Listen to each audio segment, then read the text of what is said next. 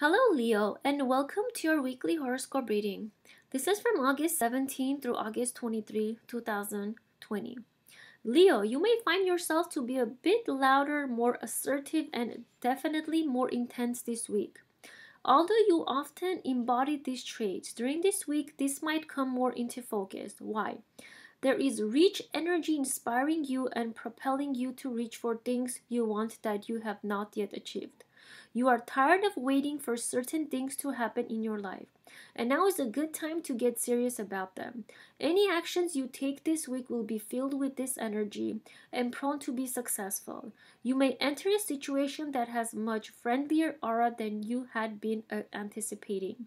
You may have prepared yourself to be stern or on guard. But the welcome uh, but the welcome vibe of the encounter might surprise you.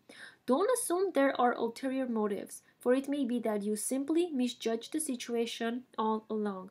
Accept what you see. The people in our lives often face battles we know nothing about. If someone is dear to you is not themselves this week. Don't don't project it into yourself by assuming they're angry or disappointed in you. There could be something deeper that you can help with, so rushing to judgment will only complicate the matter. Just be there to offer whatever is needed. Thank you for listening, Leo. I wish you a blessed and prosperous week ahead.